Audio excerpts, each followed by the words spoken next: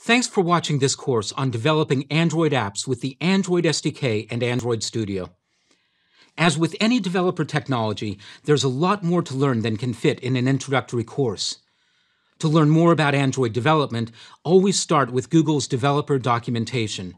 Visit developer.android.com slash develop to find all sorts of resources, including the API docs, descriptions of various aspects of the SDK, and tutorials.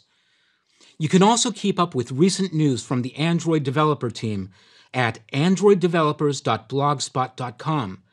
And as you have questions, you can ask them at stackoverflow.com. Here are some other useful courses on Android development that let you dive deeply into various aspects of the SDK. Android SDK Local Data Storage will take you into the world of shared preferences, SQLite databases, and working with various types of files. Building a note-taking app for Android will show you how to build an app from start to finish, including using an SQLite database to store data on the device. Adding Google Maps to Android apps shows you how to integrate the Google Play Services library and how to add interactive maps to your application.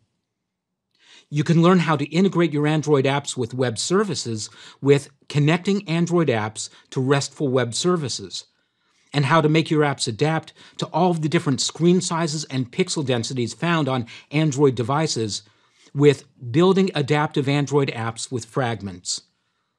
And when you're ready to deploy your Android apps, you can watch the course Distributing Android Apps.